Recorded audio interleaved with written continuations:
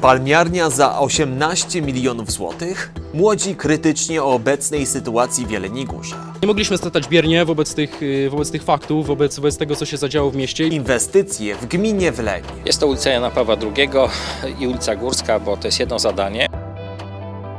Tuż przed weekendem wita Państwa Paweł Guszała. Dzisiaj upłynął termin składania ofert w postępowaniu pod nazwą budowa palmiarni w Parku Zdrojowym w Jeleniej Górze Cieplicach.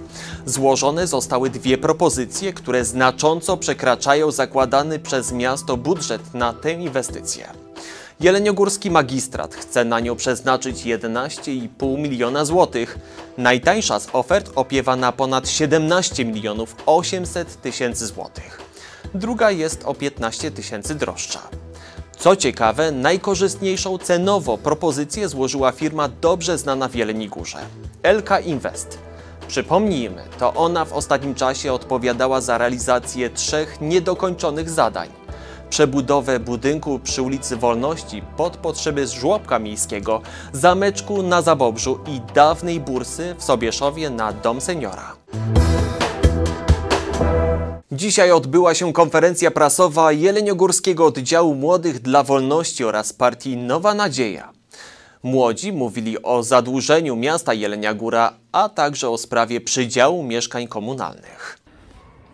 Młodzi dla Wolności Partia Nowa Nadzieja zorganizowały dziś konferencję prasową przed Jeleniogórskim ratuszem. Mówili m.in. o rosnącym zadłużeniu naszego miasta. Dwa miesiące temu mówiliśmy o zadłużeniu samorządów. Między innymi mówiliśmy właśnie o Jeleniej Górze, o planowanym deficycie na rok 2023 wynoszącym ponad 150 milionów złotych, o deficycie z 2022 roku, który, był, który wynosił ponad 50 milionów. Mówiliśmy właśnie o zadłużeniu samorządów, że za błędy dzisiejsze polityków, również te samorządowe, zapłacą niestety przyszłe pokolenie.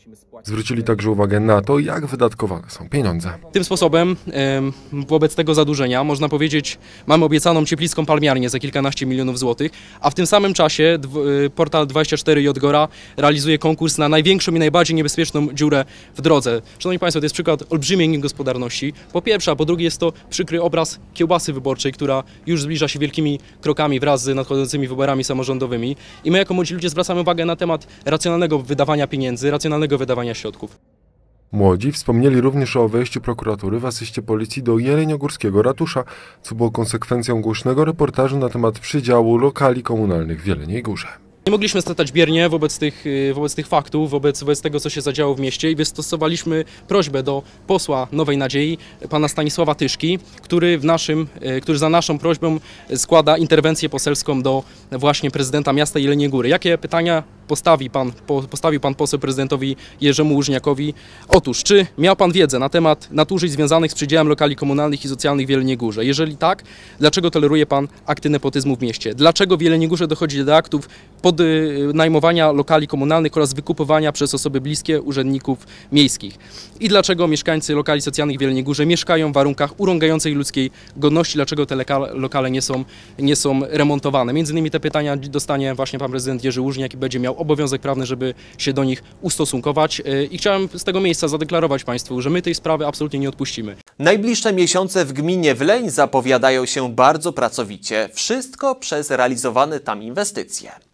Lokalne władze nie siedzą z założonymi rękoma i podjęły się zadań, które mają poprawić komfort życia mieszkańców. Dzisiaj powiemy o inwestycjach wodociągowych i drogowej.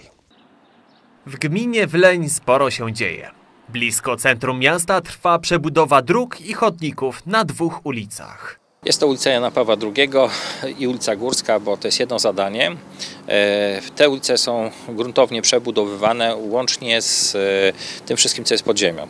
Czyli jest nowa instalacja wodociągowa, kanalizacyjna, jest dobudowana kanalizacja deszczowa, jest instalacja elektryczna, oświetleniowa dobudowana, będą nowe chodniki i nowa nawierzchnia.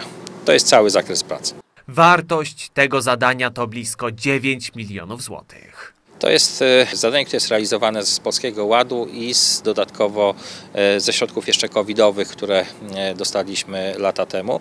Skumulowaliśmy je i dzisiaj dzięki temu możemy zrealizować tę inwestycję. Kolejne inwestycje odbywają się już nie na terenie Wlenia, a w jego okolicy i mają rozwiązać bardzo istotny problem, z którym zmagali się mieszkańcy gminy od wielu lat.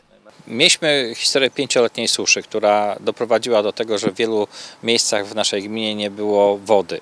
Strażacy dowozili wodę e, swoimi samochodami, ponieważ nie było możliwości dowiezienia innymi e, urządzeniami, bo ich nie mieliśmy po prostu. Była taka skala tej suszy. W związku z tym e, decyzja padła taka, że jeżeli jest tylko możliwe, chcemy całą gminę wyposażyć w wodociągi. I obecnie, krok po kroku, ten plan jest realizowany. Został niedawno oddany odcinek do Pilichowic i w tej chwili Pilichowice jako druga największa miejscowość w gminie ma już wodociąg. Kolejnym działaniem jest dostarczenie wody tutaj do Bystrzycy i do Tarczyna, bo to jest właśnie ta przepompownia będzie służyła temu cel, celowi oraz dostarczenie wody e, na Klecze i do Łupek. W Łupkach była największa susza, był największy problem. Docelowo każda miejscowość na terenie gminy ma być zabezpieczona w dobrej jakości wodę w dostatecznej ilości i pod dobrym ciśnieniem. W tym roku dostaliśmy pieniądze także na wodociąg do Strzyżowca. Tam będzie trochę dłuższy okres realizacji, dlatego że to jest w formule zaprojektuj i wybuduj. W związku z tym e, tam czas realizacji będzie około dwóch lat. Jeszcze jedna e, rzecz jest bardzo fajna i to bardzo dobra wiadomość dla, dla części mieszkańców Marczowa i Przeździedzy, bo w naszym kontrakcie z, naszym, z naszą firmą, która jest operatorem wodno-ściekowym, mieliśmy zapisane, że w tym roku powstanie wodociąg do Marczowa, który będzie przechodził przez miejscowość Przeździedza i ten wodociąg także będzie budowany. Szacowany koszt wszystkich wspomnianych, planowanych inwestycji ma oscylować w granicach 14 milionów złotych. Uniwersytet Ekonomiczny we Wrocławiu zaprasza maturzystów, maturzystki, a także ich rodziców, opiekunów i nauczycieli na Dzień Otwarty.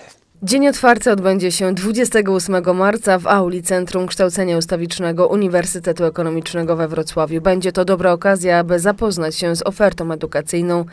W trakcie spotkania maturzyści uzyskają wiedzę m.in. o kierunkach studiów, a jeśli o nich mowa, w niedalekiej przyszłości planowane jest otwarcie nowych specjalności w Jeleniogórskiej filii Uniwersytetu.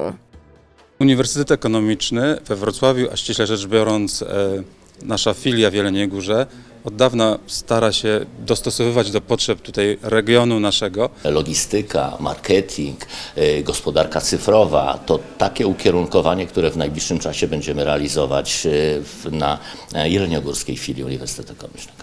Przede wszystkim zwiększamy naszą ofertę dydaktyczną.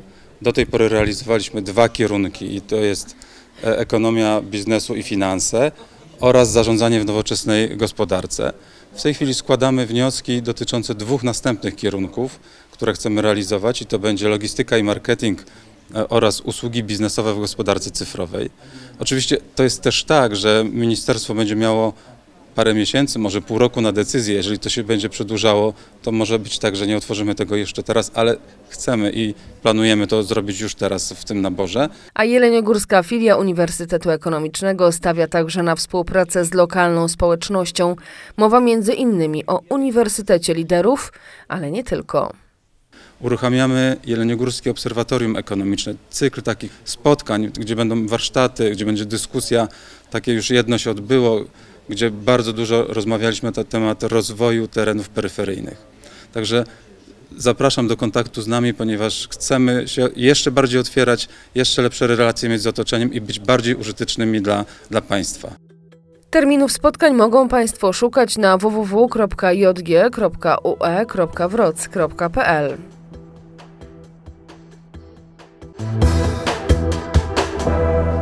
Wyprawa polarna Zuchów. Wielka gra najmłodszych z Dolnego Śląska odbędzie się 18 marca w Kowarach. Uczestnicy będą mieli do przejścia trasę składającą się z ośmiu pól zabawowych, na których spotkają postaci z bajek. Kowary zapraszają. To wszystko na dziś. Zapraszam jutro na wydarzenia tygodnia. Do zobaczenia.